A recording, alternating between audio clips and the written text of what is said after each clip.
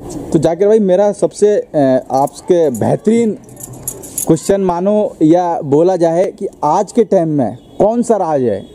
कौन सा राज्य है जो झूठ घोड़ा मार्केट में झूठ बोलने में अब्बल चल रहा है? अब्बल सर हमारे हम्म, बहुत सी जगह पे झूठ है।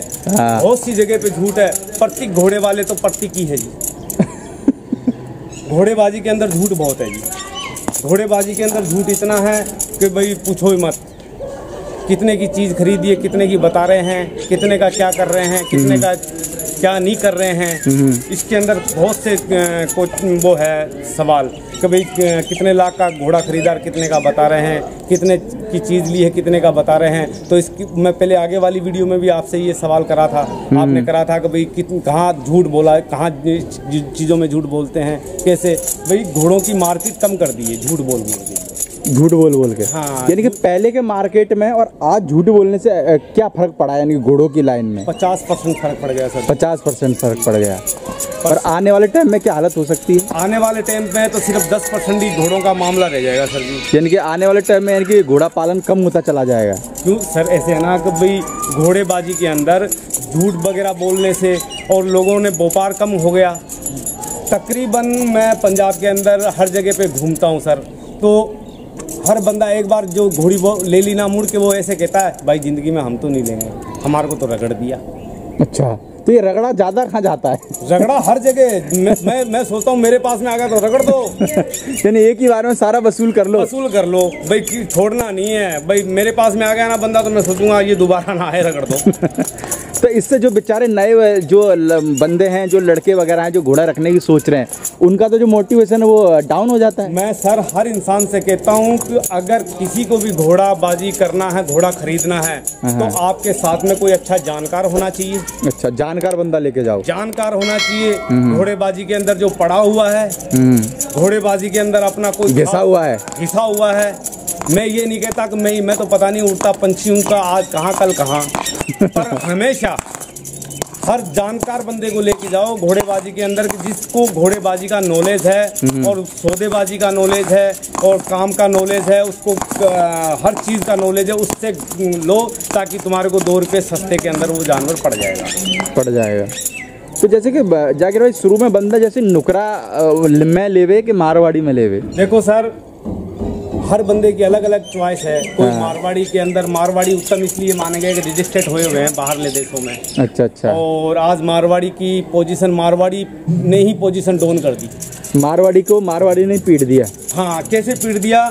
तो मारवाड़ी घोड़े आज अ, कोई कहते हैं भाई मेरा घोड़ा सात करोड़ का है कोई कहता है मेरा घोड़ा पाँच करोड़ का कोई कहता है मेरा घोड़ा तीन करोड़ का कोई दो करोड़ का कोई एक करोड़ का। कोई पचास लाख का कोई तीस लाख का कोई पैंतीस लाख का करोड़ों में 15 लाख का। चले गए। मतलब करोड़ों के अंदर जी घोड़े चले गए। तो अब नॉर्मल बेचारे घोड़े तो वो तो नॉर्मल रहेंगे।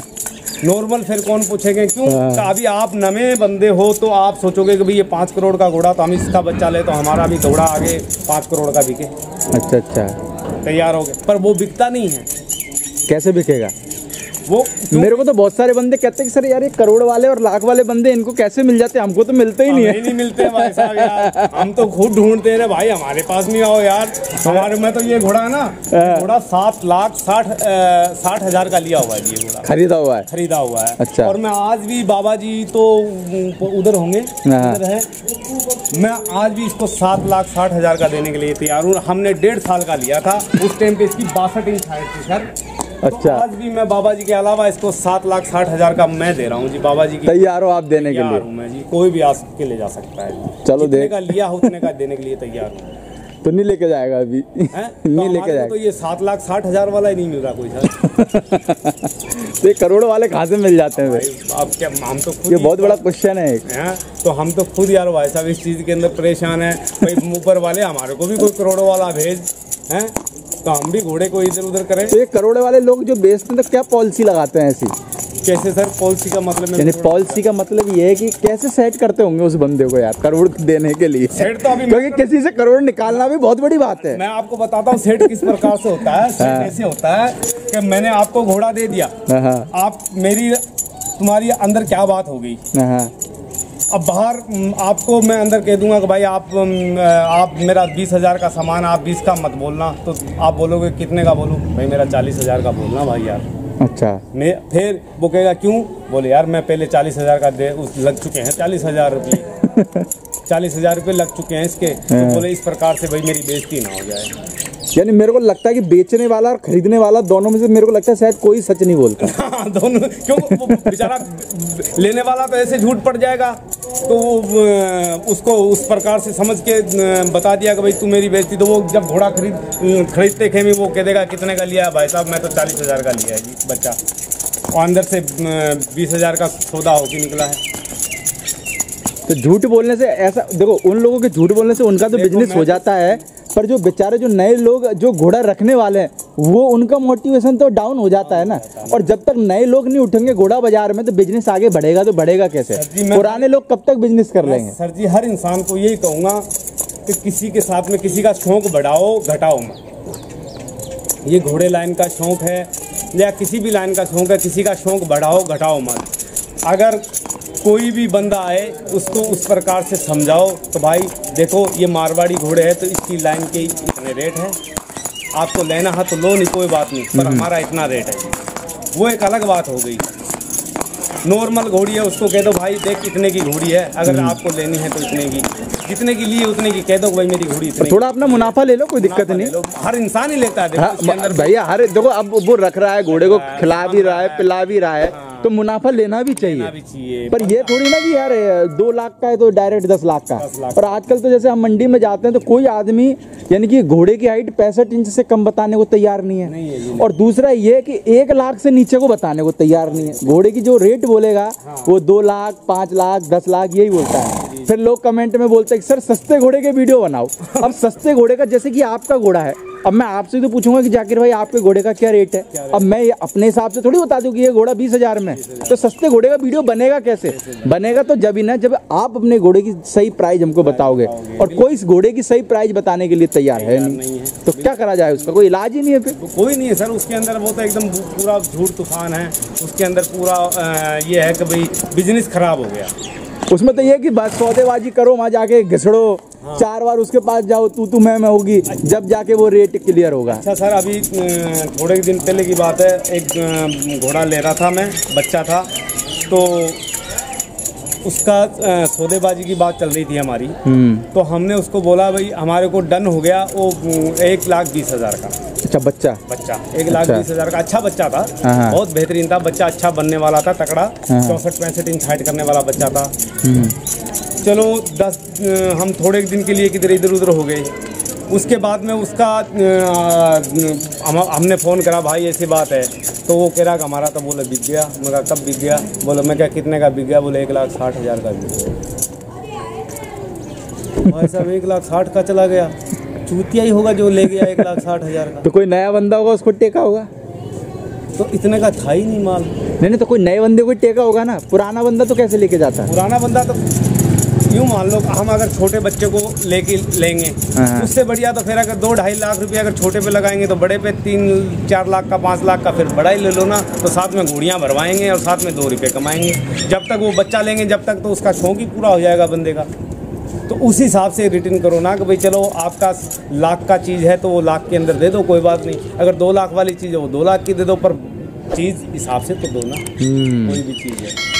तो कहने का मतलब हर चीज़ को हिसाब से करो हिसाब से मतलब व्यापार लाइन करो ताकि हमारा रोज़गार चलता रहे एक मेरी बात और जो नए लोगों का है वो भी शौक बढ़ता रहे। शौक बढ़ता रहे। हर इंसान का शौक आपका आगे से आगे शौक बढ़ता रहेगा सर इसके अंदर घटेगा नहीं। और जैसे कि नए लोगों का शौक बढ़ेगा तो मार्केट में तेज़ी ही आएगी। आएगी। और तुम अगर जानवरों का रेट ज़्यादा महँगा बोलोगे तो मार्केट में डाउन पन आएगा। सर जी अभी 26 तारीख से जगराव मंडी स्टार्ट है। हाँ हाँ। मैं उस टाइम से पंजाब के अंदर उस जगराव मंडी में जा रहा हूँ जिस टाइम पे जगराव मंडी में खड़े रहने की जगह नहीं मिलती थी सर जी। कितने साल हो गए हो गए जगरावा मंडी लगते हुए? काफ़ी साल हो गए सर। अच्छा। तो। मतलब जगह नहीं मिलती थी सर। यानी कि जगह नहीं घोड़ों के खड़े करने की। हाँ लोग बाग अभी आज आज तीन दिन पहले ही मतलब स्टार्ट हो जाते थे जगह रोकने के लिए जी। अब मेरे को- आज अभी आप चले जाओ जगराव मंडी में वहाँ पे गायें घूम रही होगी। तो मेरे को लगता है कि आप एक तारीख को भी चले जाओ तो भी जगह मिल जाएगी अब तो। लास्ट दिन भी जगह मिल जाएगी। क्योंकि संख्या कम रह गई है। ये बात जिनके पास में घोड़े थे वो बेचारे को घोड़े वो महँगे लिए और वो सस्ते बेचे।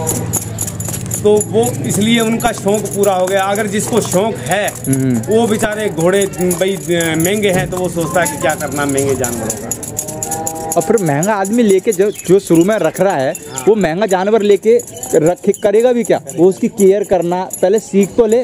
जभी तो महँगा रखेगा जभी तो कुछ फ़ायदा हो उसको। ऐसे क्या फ़ायदा होगा बताओ?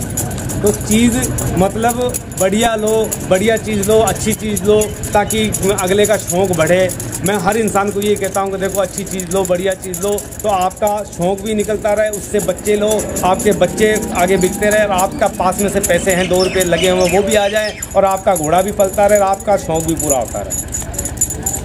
तो दोस्तों, आप इन चीज़ों का ध्यान रखें, जो भी नए लोग हैं, उनको यानी कि ज़्यादा ठगने की कोशिश ना करें। कोशिश करें कि उनके अंदर ज़्यादा से ज़्यादा आप अवेयरनेस डालें, जिससे वो भी घोड़ा पालने के लिए सजग हो।